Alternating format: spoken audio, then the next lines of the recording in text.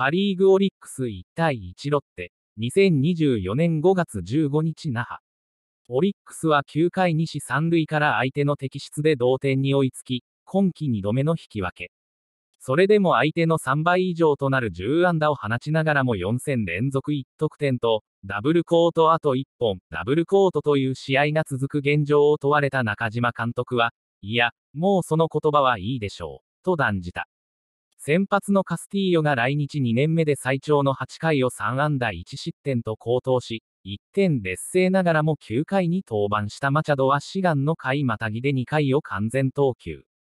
投手陣は粘りの投球を続け、打線も2桁安打は11試合ぶりだった。どこで打つかじゃないですか。いい感じで打っていたのが、次にはもう全然って時もありますし。後期の場面でどうやって打っていくかが課題だと思いますし、と、指揮官は打線について言及した。6日の仙台、楽天戦から始まった長期遠征は1勝3敗1分け、1中止で終了。17日からは本拠、京セラドームで楽天と3連戦を戦うが、その後また北海道、所沢、広島と遠征が続き、監督は一瞬帰るけど、また出ていかなきゃいけないんで。何とかその一瞬で気分転換できれば、と懸命に前を向いていた。